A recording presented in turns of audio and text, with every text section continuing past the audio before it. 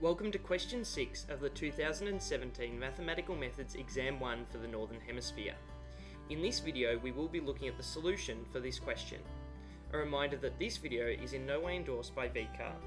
So for question 6 we have at a large sporting arena there are a number of food outlets including a cafe.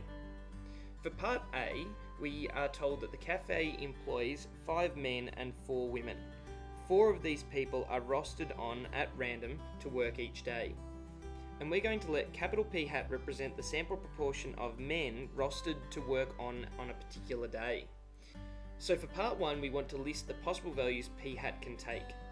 So because there's four people working on at any given time, out of those four people, we could have zero men there because there's four women that would then be working, so the proportion could be zero. We could have one of the four people working is a man, we could have 2 out of 4, which is a half. We could have 3 out of 4 that are working being men, or we could have 4 out of 4 working uh, men, which would be a proportion of 1. So they are the possible values that p hat can take. For part 2, we're asked to find the probability that p hat is equal to 0. So the proportion of men working out of 4 is 0, which means all 4 are women that are working at that cafe at that time. So to answer this question, we could look at a particular set of branches of a tree diagram where we have a woman is working, a second woman is working on that shift, a third woman, and a fourth woman are all working on that shift.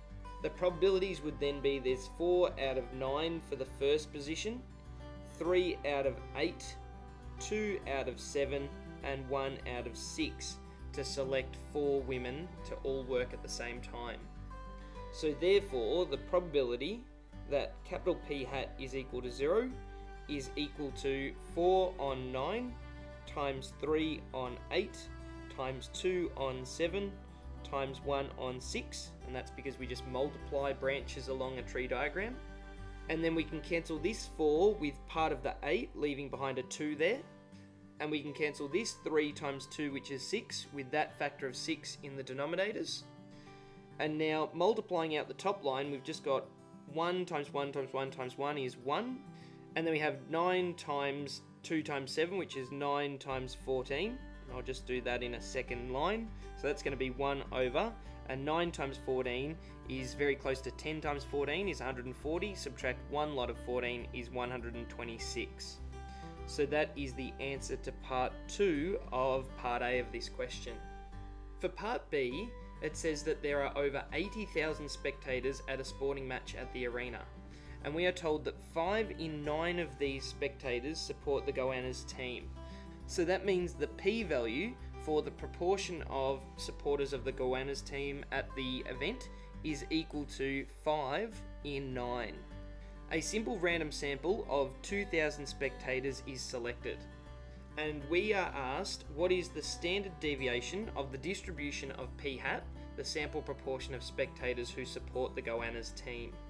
So first of all, from our formula sheets, we can see there's a formula for the standard deviation of p hat, which is equal to the square root of p times 1 minus p over n.